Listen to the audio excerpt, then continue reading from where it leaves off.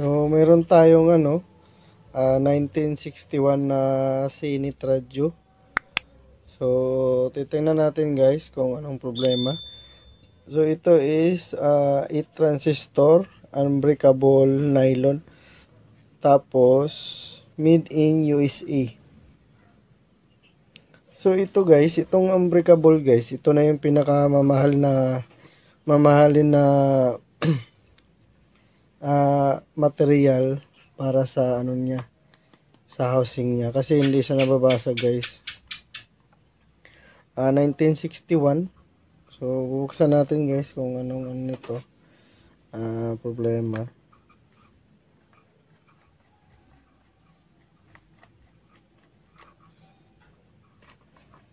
Ang battery nga pala nito is bali apat na 1.5 so ang total niya is ah, 6 volts.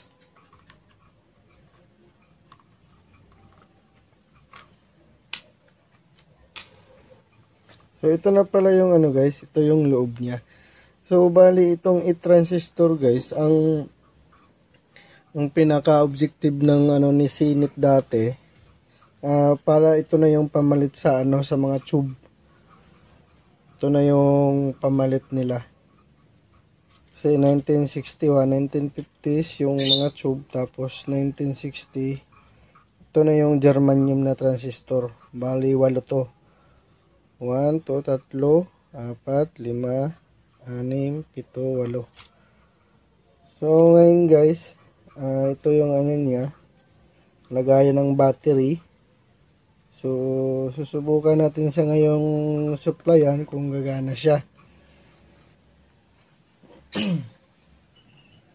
oh, meron na akong ano dito guys. Ah, power supply. Ito, bali 5 volts lang. Pero, pwede na to. So, titest natin dito. Kung ilan yung volts niya.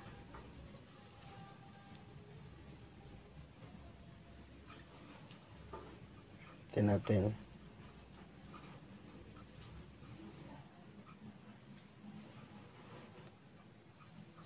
Uh, volts.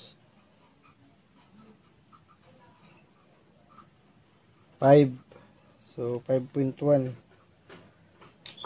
Ah, ngayon, subukan natin siyang i-ano.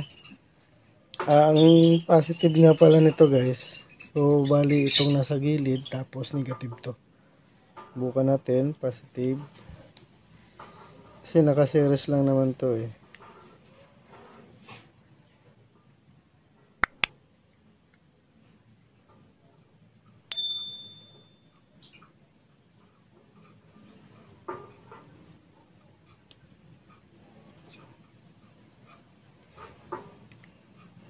Tanggalin natin yung ano niya guys.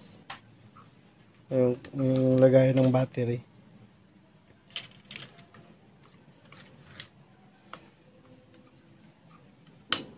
Ano, vintage na to guys. O, bali 1961. So, ito, kailangan to ay ano guys. Pag uh, kita na natin yung problema, kailangan natin mag-recap.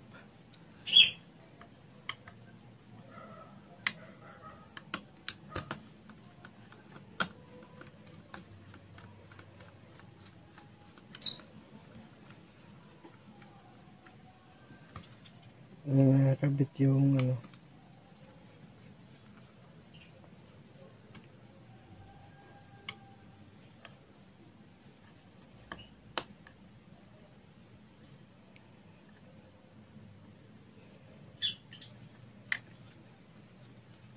Nakakabit siya sa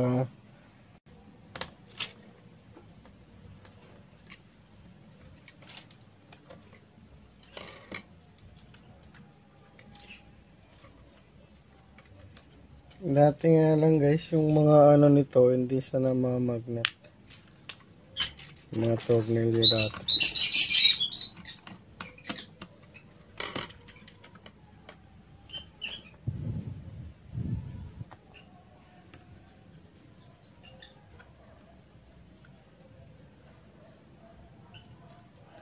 O, dandahan lang natin guys kasi vintage na.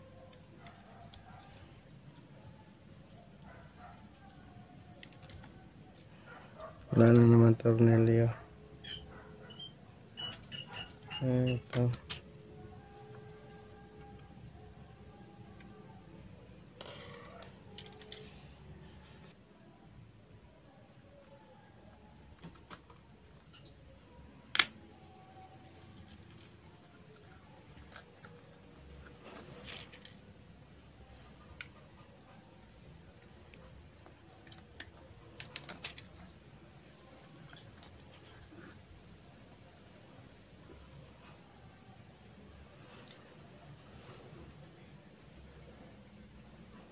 Grabe guys. Grabe yung ano. Corroded na. Ayan yung mga linya niya guys. Oh. Ito, meron na siyang ano, sunog oh. Meron na siyang nasira na linya. So, kailangan muna natin tong i, ano, i-recap.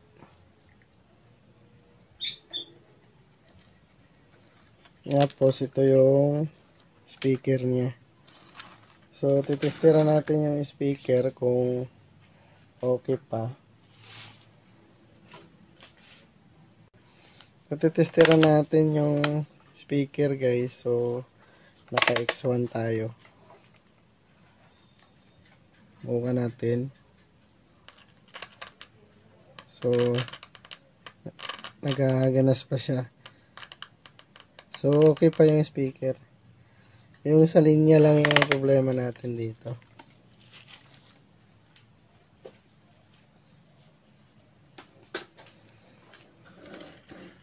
So, gagawin muna natin dito guys. Ah, linisin ko muna to tapos i to troubleshoot.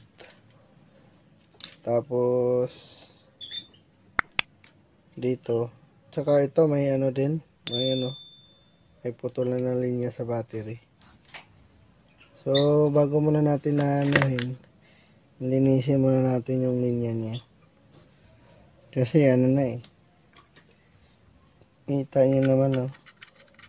Ano na siya, nag-corroded na. Siguro nabasa to. Sobrang tagal na niya. Isipin mo naman guys, 1961. Pero, ano pa, hindi pa siya masyadong yung mukha niya malinis pa. So, abang-abangan nyo na lang guys, yung kasunod nyo na, ang kasunod nito na video. So, ito guys, napakalakas nito guys, kasi ito, ah, 5 inches yung speaker niya. 5 by 3. So, ito, ito yung pinakamalakas sa, sa normal na ano, sa normal na packet radio. Ito yung dinesign talaga to para sa ano. Tsaka para maano siya, tubeless siya guys. So, bali ano, yung design niya para pantapat to sa mga ditubo dati. Kasi yung mga ditubo matataas ang voltahe nun. Samantalang ito, yung supply nito is 6 volts lang. So, hindi siya masyadong bulky. Pero abang-abangan nyo lang guys. Ah, ano, So, gabi na kasi ngayon, kailangan natin itong ano, uh, laban natin yung board, tapos yung mga kapasitor. I-update ko na lang kayo guys sa susunod nating mga video. So, antabayan na lang natin guys. Maraming salamat.